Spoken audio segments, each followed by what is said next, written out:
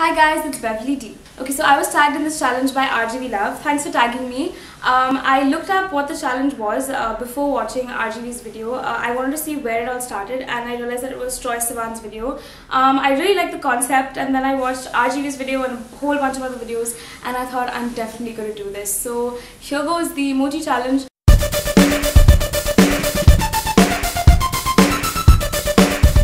I'm gonna talk about five emojis that perfectly describe me and my life. Okay, now this one not only describes me as a person, but it's also an emoji that I use a lot. Like uh, if you're with me on WhatsApp or even if you see me on Twitter, I'm constantly using this emoji because I love to laugh. Laughing is my thing.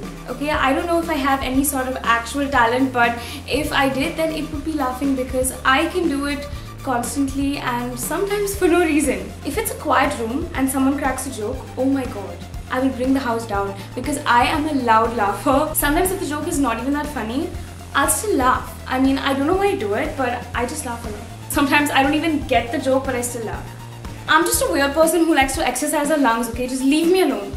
Sometimes when my friend is about to tell me a joke, but it's so funny that she can barely speak, she's laughing so much, I don't even know what the joke is. She hasn't started speaking and I'm just laughing because she's laughing. I'm crazy. I think I should make a video about laughing. Just saying. I'm gonna note this down right now.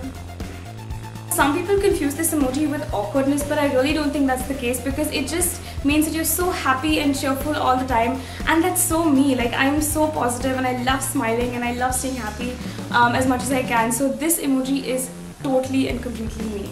Okay, now I know that we're just supposed to pick one emoji per quality, but to be honest, this one requires three. I am a professional fangirl. My Twitter bio says that I'm a professional fangirl, and these three emojis perfectly describe that emotion. When I'm fangirling, there are so many different emotions that are running through my head, okay? Because first of all, I'm in love with that particular thing or that particular person.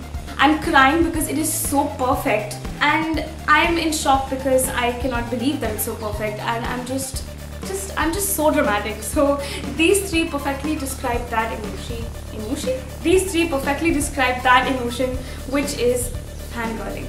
I mean, this one just, you know, do I really need to explain myself right now? If you don't know that I'm a foodie, you don't know me at all. I love food, okay, and I've said it millions of times, but food is my soulmate. And this emoji perfectly describes that part of me.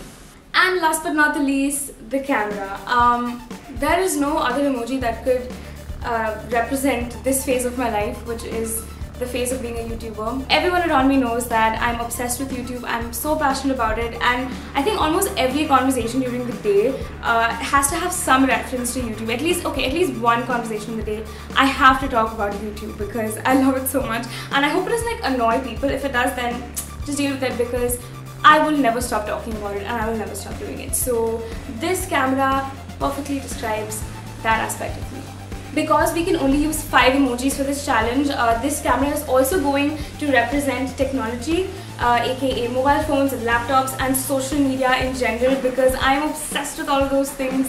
I love being a part of social media and the social media the internet world. So yep that is also a huge part of me. So yep those are my five emojis that perfectly describe my life and my personality but before I finish, I just want to say that, um, look, I am a nice person most of the time, but sometimes people can annoy me. And sometimes I really wish that there was an emoji for the expression, can you not? And this is how I would represent that emoji. You turn your head to the left and your hand is like this because you do not want to deal with that person right now. They're so annoying. And you're just like, can you not? Okay, for example, when I'm listening to music or when I'm watching a Superwoman's video and someone interrupts me and wants to talk to me about I don't know what, it's so annoying. And I just want to tell them, can you not? When I'm having my favorite food, whether it's french fries or pizza or whatever, and someone wants to take some of it, I say, okay, take it, I'm fine. I like to share sometimes, okay, sometimes. But then they'll just go on taking, okay, one by one, like one bite after another, and I'm like, okay, that's fine, no problem, one more's okay.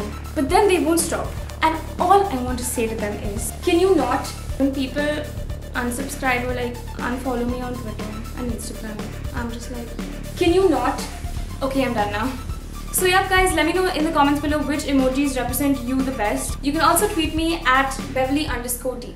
If you guys like this video, you know what you have to do is subscribe, comment, share and like it. And always remember, dream big, be kind, stay positive, and most importantly, be yourself.